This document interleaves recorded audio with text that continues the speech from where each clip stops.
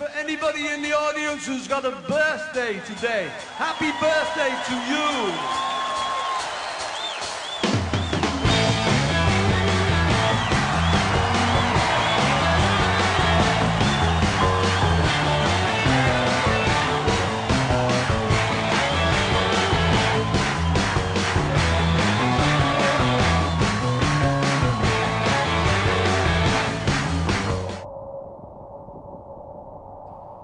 This staff member says they are born in God's country.